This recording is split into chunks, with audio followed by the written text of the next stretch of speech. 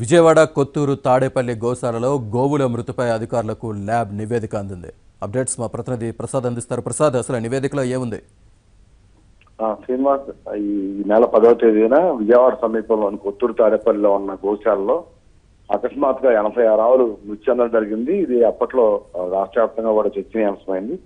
ఉద్దేశపూర్వకంగా చేశారా లేకపోతే అనుకోకుండా జరిగిన ఘటన అనే అంశాలపై కూడా వివిధ కోణాల్లో అనుమానాలు కూడా వ్యక్తమయ్యాయి.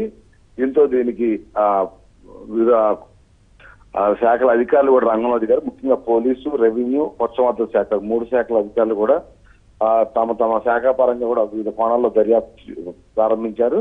ఆ ముఖ్యంగా ఆ రోజు ఆ ఘటన జరిగిన రోజు పశుసంవర్ధక శాఖ అధికారులు మొత్తం ఆవు కొన్ని ఆవులకి పోస్ట్ మార్టం నిర్వహించి ఆవులు కడుపులో ఉన్న వివిధ రకాల పదార్థాలు ఆ మొత్తాన్ని కూడా ల్యాబ్లకు పంపించడం జరిగింది. ఆ రోజే ఇది పచ్చగడ్డి ఎండుగడ్డి మిశ్రమం కలిపి తినటం వల్ల ఆవు- ఆవుల కడుపులో గ్యాస్ ఫామ్ అయ్యి అది ఊపిరాడ చనిపోయినట్లు ప్రాథమికంగా నిర్ధారించినప్పుడు కూడా నివేదిక వచ్చాకే స్పష్టమైన ప్రకటన చేస్తామని చెప్పి ఆ రోజు అధికారులు ప్రకటించారు. ఈ నేపథ్యంలో పశుసంవర్ధక శాఖ ప- చేసిన పరీక్షలకు సంబంధించిన ల్యాబ్ రిపోర్టు నిన్న ఉన్నతాధికారులు సమర్పించడం జరిగింది. ఈ- అందులో బ్లోట్ అంటే వాడుక భాషలో గా- ఆవుల కడుపులో గ్యాస్ ఫామ్ అవటం తద్వారా ఊపిరాడక ఆ నెత్తురు ఈ కక్కుని చనిపోయినట్లు కూడా నిర్ధారించారు.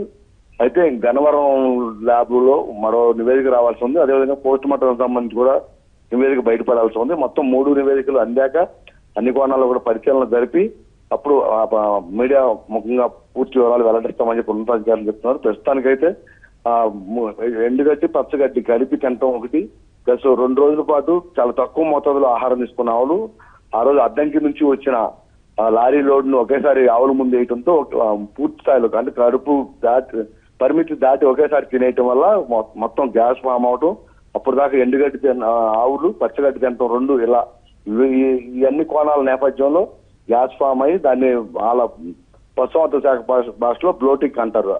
అంటే ఆ- ఆ బ్లోటిక్ అనేది ఆ కడుపులో ఏర్పడితే ఆవులు తట్టుకోలేవని చెప్పి ఆ రోజు చెప్పడం జరిగింది. ఈ నేపథ్యంలో ప్రాథమికంగా అయితే ఇప్పటి వరకు వచ్చిన నివేదిక రిపోర్ట్ ప్రకారం ఆ బ్లోటిక్ వల్ల ఆవులు చనిపోయినట్లు నిర్ధారించారు. అయితే అద్దంకి నుంచి వచ్చిన దా దాని మీద కొంత రసాయనిక ఎరువులు కూడా రసాయనిక మందు ప్రభావం కూడా ఉందని చెప్పి ఆ రోజు భావించారు. ఆ కోణంలో కూడా మరో విచారణ జరుగుతుంది.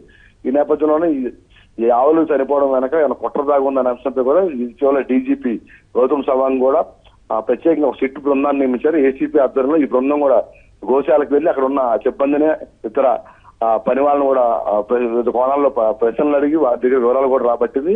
అది కుట్ర కోణం దాగి ఉందా లేదనేది సిట్ బృందం నివే నివేదిక వచ్చాక తెలుస్తుంది శ్రీనివాస్. ప్రసాద్ మిగిలిన రెండు ల్యాబ్స్ నుంచి కూడా ఎప్పుడు నివేదికలు అందే అవకాశం ఉన్నాయి?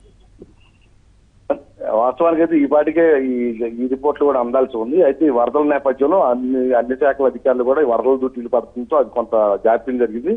ఈ ప్రస్తుతం వరద తగ్గుముఖం పడుతున్న నేపథ్యంలో రేపు ఎల్లుండి ఈ రెండు రోజుల్లో ఈ ల్యాబ్ రిపోర్ట్ కూడా అందుతాయని చెప్పి అధికారులు చెప్తున్నారు. ఏదైనా కూడా ఎంత కూడా పూర్తిగా బయటికి వెల్లడించలేమని ఉన్నతాధికారులకి మొత్తం కూలంకషంగా ఆ రిపోర్ట్లో రాసి వారికి నివేదిక రూపంలో ఇస్తామని అధికారులు చెప్తున్నారు.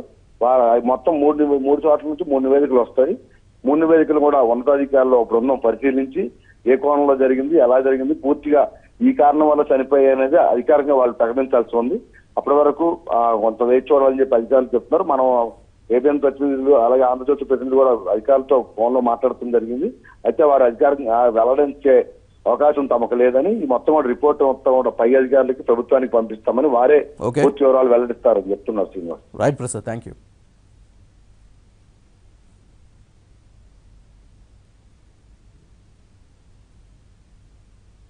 చిన్న విరామం తీసుకుందాం చూస్తూనే